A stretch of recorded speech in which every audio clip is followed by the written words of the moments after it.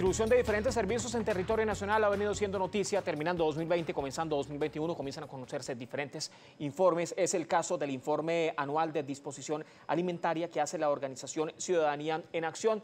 Lo vamos a detallar a continuación porque me acompaña Edison, Edison Arciniega, él es el director de esta organización Ciudadanía en Acción. Edison, buenos días, gracias por acompañarnos. Un gusto, amigo mío.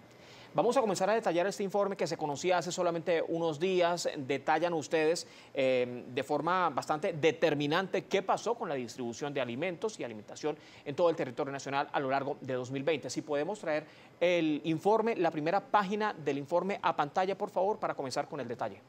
Sí, te podría comentar que nuestro informe es producto de dos sistemas de monitoreo. Un sistema de monitoreo que es un panel de 590 comunidades estadísticamente representativas del conjunto del país cada una de esas comunidades tiene un promedio de 200 familias y el otro es un sistema de monitoreo de cargas con movilización a destino final. Esto nos permite a nosotros hacer un proceso de inteligencia de mercado que nos lleva a inferir los volúmenes de alimentos que transfiere el Estado a través del panel de comunidades y los volúmenes de alimentos que coloca a disposición del consumidor el sector privado a través del monitoreo de las cargas con destino final. ¿Cuál es la principal conclusión que se le puede dar a este informe de disposición alimentaria en función de 2020 y, por ejemplo, cómo terminó también este informe en 2019? ¿Cuál es el contraste que se Yo puede diría que la principal conclusión es un año con muchos más alimentos que el año 2019, pero también con una mayor desigualdad alimentaria. ¿Todo esto por qué? ¿Por qué se detalla así?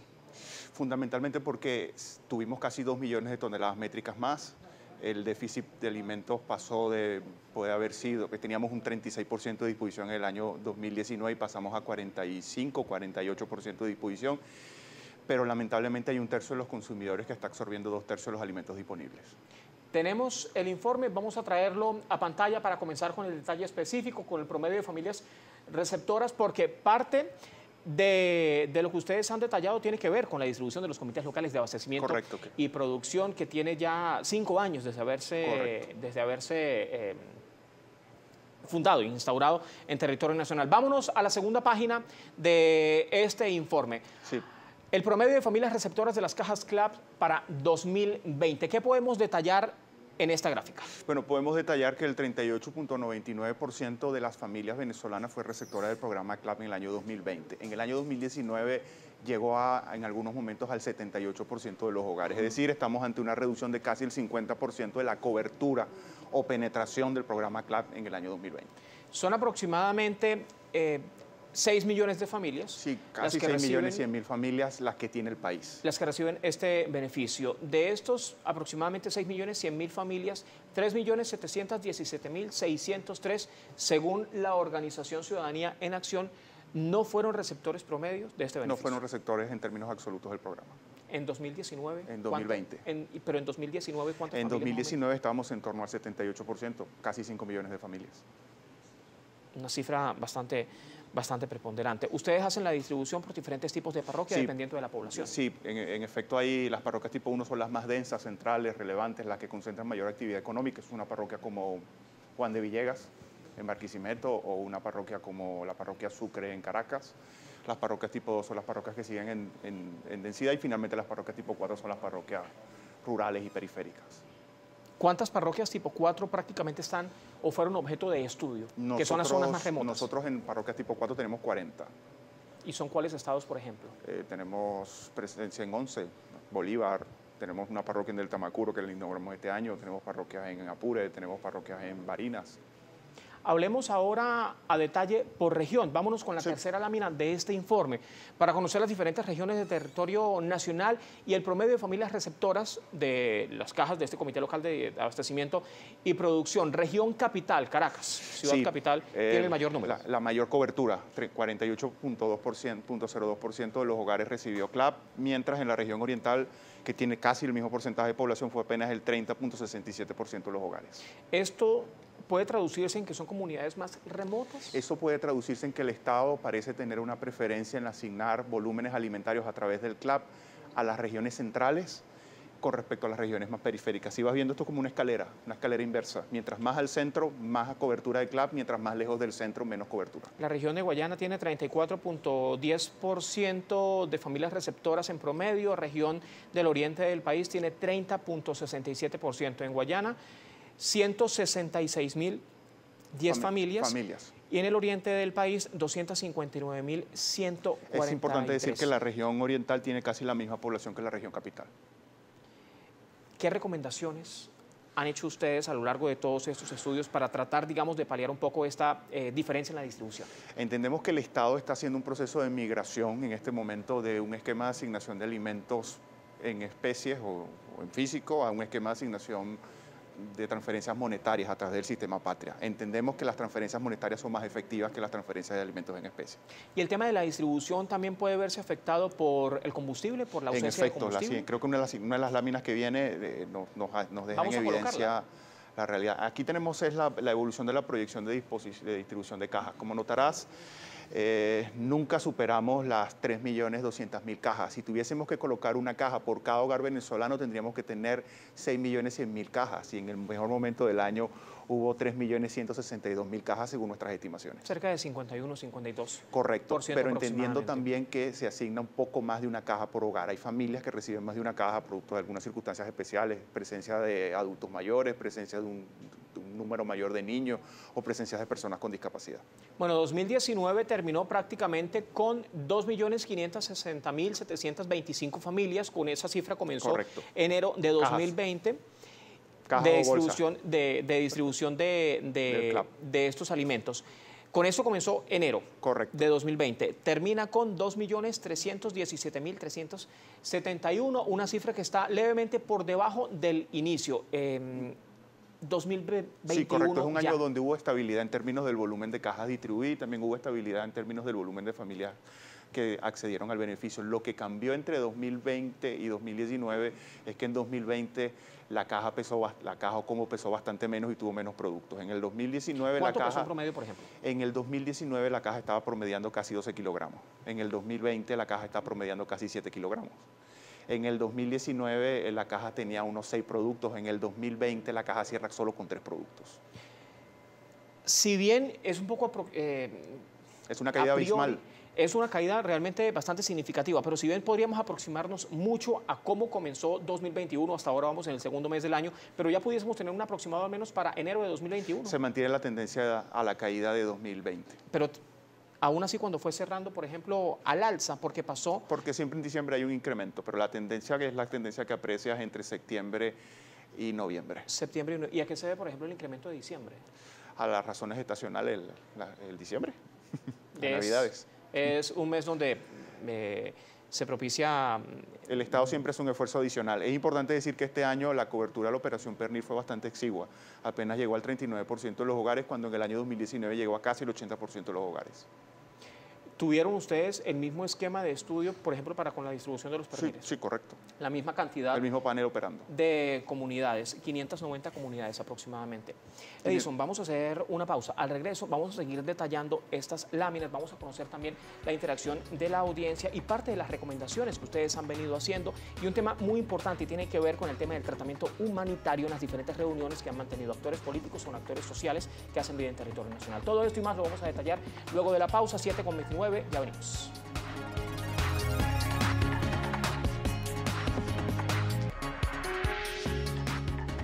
¿Qué pasa en todo el territorio nacional con la distribución de alimentos, pero por rubros? Vamos a detallarlo de inmediato, Edison, ¿le parece? Con este informe que ustedes presentan en Ciudadanía en Acción. Acá está detallado por los diferentes rubros la disposición de alimentos total del, país. Estamos ante una disposición total de alimentos que está en torno al 45% de los, del requerimiento alimentario de la dieta prototipo nacional y solo hay un bloque de rubros que son los cereales que está plenamente cubierto en términos de disposición. De resto, tenemos déficit. la barra gris plomo es lo que hubo disponible, las barras rojas son los déficits proyectados de acuerdo al requerimiento nacional.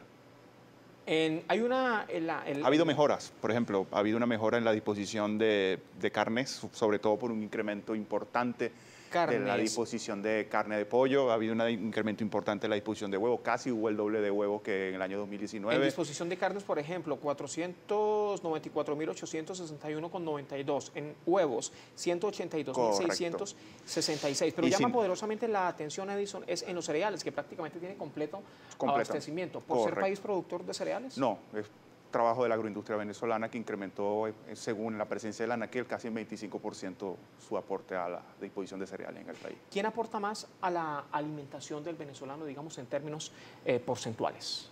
¿Te refieres a qué actor? Actor mm, eh, público y privado. El Estado aporta cerca del 8% y el sector privado sobre el 92% de los alimentos disponibles. Y esto que estamos midiendo... Y la producción interna apenas el 18% de los alimentos que se consumen. Es decir, mayoritariamente son productos importaciones. que se consiguen Sobre, Pero sucedió algo bueno en el año 2020 y es que se incrementó el, procesamiento agroindustrial. Es decir, hubo más materias primas extranjeras en el país, pero hubo más procesamiento de esas materias primas. Es decir, hubo más, maíz extranjero y más harina de maíz precocida venezolana. Hay déficit en las raíces y en los tubérculos, en las verduras, Hay un déficit importante, pero es importante decir que el año 2020 registró 2 millones de toneladas métricas más de alimentos con respecto a 2019. Es el salto más importante del año 2013. ¿A qué se debe este salto? Al incremento de la capacidad adquisitiva de un tercio de los consumidores. Bueno, una noticia, digamos que en algunos casos, por términos alimenticios, pudiese ser además alentadora. Eh, hay una ficción de promedio, porque hay dos tercios de los consumidores que no llegan a ser consumidores efectivos. Lamentablemente, ese incremento de dos millones de toneladas métricas de disposición fue absorbido por un tercio de los consumidores. Hay un tercio de consumidores consumiendo dos tercios de los alimentos. Imagínese. Si vemos la siguiente lámina. ¿Cómo se detalla? Antes de pasar a la siguiente lámina, acá hay un término bastante puntual que llama la atención, alimentos, y es que no se detalla. Alimentos recreativos. ¿A qué, los se snacks, alimentos recreativos? Los snacks, inclusive algunas bebidas. No, no, los que son meramente opcionales. Los meramente opcionales, nosotros no los hemos medido, por eso está en cero, pero también está bastante bajo. Vamos a pasar a la próxima lámina, proyección de disposición alimentaria por las regiones contrastada con el requerimiento anual sí, como notarás acá, del prototipo sociohistórico. Como notarás acá, hay por primera vez desde que nosotros estamos midiendo, la región capital está por debajo de las otras regiones del país. Estos, y vemos a las tres regiones que son fundamentalmente productoras primarias y procesadoras de alimentos que están por en torno al 50 o, por encima del 50%. Esto el responde caso de la región zuliana, por ejemplo. Eh, la región zuliana, el caso de la región andina, la región centro-occidental. Eso responde fundamentalmente a la crisis del combustible que impidió la movilización de los alimentos a su destino final. Entonces vemos el efecto sobre la región guayana que está al final de la cadena de distribución o el efecto sobre la región oriental. Mientras más lejos estás de las regiones productoras, menos alimentos llegaron. En función de estas tablas, estos estudios y también el contraste que se tiene desde 2019 y 2020, ustedes pueden lanzar, se atreverían a lanzar una proyección para con 2021 el informe correspondiente de este 2020 en curso? No nos atrevemos. Venezuela es un país con una alta volatilidad en su sistema alimentario. Pequeñas, pequeñas variaciones generan grandes efectos. Em, hay muchas preguntas de la audiencia, interacción que vamos a hacer en solamente eh, segundos. Nos faltan dos láminas, vamos a revisarlas de inmediato porque el sistema aportante en 2020, bueno, se detallaba un poco, en la, en la aproximación que teníamos con la lámina anterior. En efecto, si, si observas acá, eh, la lámina verde, eh, la barra verde es la disposición de mercado de alimentos, lo que aporta el sector privado. La roja clara es lo que aporta el CLAP y la roja oscura es lo que aportan los combos proteicos. Como notarás, el Estado solo fue relevante en dos rubros, las leguminosas por el gran volumen de lentejas que distribuyó hasta durante el primer semestre del año pasado y el aporte en pescado por el gran volumen de sardinas que distribuyeron los combos proteicos. De resto, el Estado es un aportante marginal. Solo en torno al 8% de los alimentos que hubo disponible en el año 2020 fueron aportados por el Estado a través de sus dos sistemas de asignación de alimentos directos. ¿Y prima con el sector mm, privado la distribución? 92%. Es importante que esto es un cambio relevantísimo con respecto a 2017, donde el Estado llegó a ser un tercio de los alimentos en los anaqueles. ¿Tema política exterior ha primado? para esta acción? Sí, es probable que sí. Es probable que la diversificación de los socios comerciales haya ayudado en esto. Y la siguiente lámina nos muestra cómo quedó la dieta nacional. Nos vamos a la última lámina, un déficit de 52.6%. Si la tenemos, la traemos a pantalla porque una cifra realmente significativa. Correcto, pero bastante menor que la del año pasado. Estamos hablando que el año pasado teníamos poco más de un tercio de los alimentos y ahora tenemos, tenemos cerca de la mitad de los alimentos. ¿Cómo se puede subsanar este déficit? Eh, necesitamos dos, grandes, dos grandes líneas de trabajo. Necesitamos una línea de trabajo para incrementar la capacidad adquisitiva de los consumidores, porque si en este momento se incorporan más alimentos al mercado, no los puede absorber el consumidor y por el otro lado incrementar tanto la actividad agroindustrial como la actividad primaria. Y en estas líneas de trabajo ustedes, por ejemplo, han planteado como sector humanitario, además, que es quien mide, quien hace estas mediciones, temas de conversaciones directas con actores políticos, empresariales. Entendemos, entendemos y haría un llamado al diputado Jorge Rodríguez, al diputado Luis Eduardo Martínez, al diputado Francisco Torreable, que dirigen la Comisión de Diálogo Nacional, a que convoquen a los actores humanitarios. Sería una oportunidad interesante para que entiendan lo que hacemos, para que entiendan que estamos para ayudar al país. Porque precisamente ayer nos preguntaba un usuario, ciertamente se trata prácticamente a diario del tema político, económico, también social para la Comisión de Diálogo Permanente, para todas estas, eh, todos estos esquemas de conversaciones entre el Ejecutivo y diferentes actores políticos, sociales y económicos. Pero también prima el tema humanitario, de ello lo que hemos venido detallando a lo largo de esta entrevista. Y hay preguntas en la audiencia que tienen que ver precisamente con este tema. Rosa Colmenares, ¿qué pregunta, qué comenta, qué dice la audiencia? Así es, Juan Carlos, con la etiqueta primera página a esta hora nos llegan muchísimos comentarios, denuncias, preguntas. Vamos a empezar con la lectura de alguno de ellos.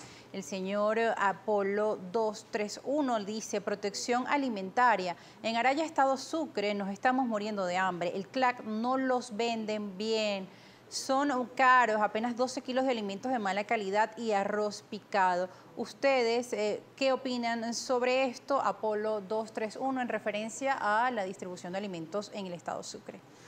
El Estado Sucre es en conjunto con el Estado Cojedes el, el, Estado con la peor disposición de alimentos de Venezuela. Una situación bastante grave, bastante delicada, que requeriría que el Estado venezolano y los actores del sistema alimentario hagan una acción especial. Hay otro comentario del señor Luis Méndez, arroba Luis Luis M, M1001. Buen día, el hecho de que ustedes aprecien un aumento de las necesidades de la población de adquirir comida entregada por el Estado, ¿cómo lo interpretan? ¿Hay un progreso en el país o por el contrario, estamos en declive social? Hay que decir dos cosas. En primera instancia, hay que decir que hubo más alimentos en el año 2020, pero lamentablemente no hubo un mejor acceso del conjunto de la población a esos alimentos. Y en segunda instancia, hay que decir que lamentablemente la capacidad adquisitiva no permite traccionar una mejora general del acceso de los venezolanos a los alimentos. Entonces lo que corresponde es hacer un esfuerzo por mejorar la capacidad adquisitiva de los venezolanos y a la par de ello, pues motorizar políticas que reactiven al sistema alimentario nacional. El sistema alimentario nacional es capaz de aportar un tercio del PIB potencial del país, pero lamentablemente en este momento no está ni cercano al 20%. Bien, hay más comentarios. Hansi, arroba Hansi 1822, primera página. El problema principal de la mala distribución en los estados foráneos radica también en la escasez de la gasolina. Entre más lejos, más gasolina, sin contar con las alcabalas que también matraquean a transportistas de eh, alimentos. Dos datos, una corrección. El, gran, el combustible de los alimentos es el gasoil. La escasez de gasoil es determinante en la disposición o no disposición de los alimentos en las regiones foráneas. Y en segunda instancia, sí, en efecto, las matracas. Nosotros hicimos un estudio de estructura de costo, por ejemplo, del queso y determinamos que el 22% de la estructura del costo del queso son las matracas. Si el kilo de queso está en promedio en 2.5 dólares en este momento, si le quitásemos la carga de las matracas, podría quedar en 1.9 dólares para el consumidor. Ahí un comentario con una reflexión del señor Beltrán Márquez, saludos para el invitado. Deben dedicarse a gobernar en el gobierno, pues si mejoran la política monetaria, fiscal y el poder adquisitivo, lo ideal es montar cadenas de supermercados por municipios, que cada quien pueda comprar lo que quiera y que se termine este yugo de los CLAP, recuperar el poder adquisitivo del venezolano. Entendemos que el Estado venezolano, de acuerdo a los datos de nuestro sistema de monitoreo, está teniendo una preferencia por la asignación de transferencias monetarias directas con respecto a la asignación de alimentos en especie, lo cual pudiese llevarnos a proyectar que posiblemente durante el año 2021 el CLAP pudiese desaparecer en términos de cobertura total y ser sustituido por los bonos del sistema patria. Precisamente Comité Locales de Abastecimiento y Producción ha sido uno de los temas tendencia en los comentarios en esta entrevista, Edinson. Hay una pregunta, un interrogante de Ramón Ramos. ¿Cree que es justo que el Comité Local de Abastecimiento y Producción, la alimentación de los venezolanos, sea utilizado como instrumento de control social y que sea manejado por el gobierno como un instrumento político del Partido Socialista Unido de Venezuela, como señalan algunas VC? Nosotros hemos, a través de nuestro panel, constatado dos, elementos, tres elementos allí. En primera instancia, que los CLAP son más plurales de los que se aprecia. Hay presencia de activistas opositores en esas estructuras. En segunda instancia, que los CLAP tienen realmente poco control sobre las comunidades. Las comunidades son receptoras, pero tienen libertad al final en sus expresiones políticas y sus expresiones sociales. También que los CLAP son un foco de conflictividad, fueron probablemente generadores de un tercio de las protestas del año 2020. Así que la percepción de cooptación plena de los CLAP por parte de una tendencia política no se coteja con la realidad. ¿Bajo qué esquema pudiese, y acá ya sacando colación el último comentario que usted hacía en respuesta a la audiencia, que existe cierta probabilidad de no desaparición plena, incluso, pero sí de alguna desaparición en alcance de estos comités locales de abastecimiento y producción? ¿Sobre qué este argumento? Sobre la disminución sostenida que viene sosteniendo el CLAP desde el año 2019. Desde abril de 2019 el CLAP no ha parado de reducir su cobertura, alcance, peso y volúmenes. ¿A qué se debe incluso, digamos, si nos centramos directamente en CLAP, y esta pregunta ya se la hice, pero ya en relación a, las variantes alimenticias ¿no? de todo el conglomerado. Pero ¿a qué se debe, por ejemplo, esta disminución puntualmente en CLAP? Mira, yo creo que se debe a dos grandes elementos. En primera instancia, que el consumidor está decidiendo comer lo que puede adquirir. Hoy en el 20% más pobre, el clave es solo el 20% de los alimentos disponibles. Y en segunda instancia, que el Estado tiene dificultades logísticas y financieras para poder seguir sosteniendo un programa de ese tipo. Es mucho más eficiente transferir dinero que llevar alimentos. ¿Qué recomendación le hace usted a la población venezolana? Más allá de, ya haber hecho recomendaciones al Ejecutivo Nacional, de pedir incluso Yo diría que, eh, algún argumento para Haría tres niveles de recomendaciones. Al caso de la población, continuar con los procesos de resiliencia alimentaria, seguir ingeniándola, seguir innovando y tratar de reactivar los medios de vida, tratar de poder generar ingresos. En la medida que generemos ingresos, podemos generar más acceso a los alimentos. El problema de inseguridad alimentaria en Venezuela responde inicialmente a una caída de la capacidad adquisitiva de los consumidores. En el caso del Estado venezolano, la necesidad de comprender que solo habrá seguridad alimentaria en un ambiente de economía abierta. La economía abierta y el hambre son antónimos. Un ejemplo claro, en 1986 había una hambruna en Etiopía. Esa hambruna de Etiopía pues, fue producto de una gran sequía y unas condiciones hostiles a la producción. En, en, el año 2020 hubo otra gran sequía en Etiopía y no hubo hambruna. La gran diferencia, en 1986 no había economía abierta, en el año 2020 hay economía abierta. Y la última recomendación al conjunto de la sociedad venezolana, es importante sacar a los alimentos del conflicto político.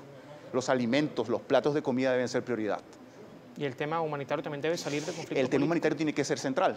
Y eso implica en este momento que la operación humanitaria está en expansión, que se genere un diálogo entre los actores políticos y los actores humanitarios, que se entienda lo que realmente los actores humanitarios hacen en Venezuela. Es decir, por muchas diferencias políticas que puedan existir entre eh, ciudadanos, también actores políticos, sociales y económicos, es necesario trabajar de la mano, llegar a algún consenso. Y sí, es necesario trabajar de la mano y es necesario también que los actores humanitarios nos ciñamos a los cuatro principios humanitarios que rigen la operación a nivel internacional. Uno de ellos es de neutralidad. ¿Perdón? Uno de los principios centrales es de neutralidad. La neutralidad, precisamente. Parte de las recomendaciones que hace Edinson Arciniegas, él es el director de la organización Ciudadanía en Acción. Edinson, muchísimas gracias por acompañarnos. Gracias a usted. Bastante detallado este informe que hace Ciudadanía en Acción de cómo estuvo la distribución alimentaria durante 2020. Hacemos pausa, esto es primera página 7 con 45. Regresamos con más temas de análisis. Ya nos espera Rosa Colmenares con José Manuel Puente.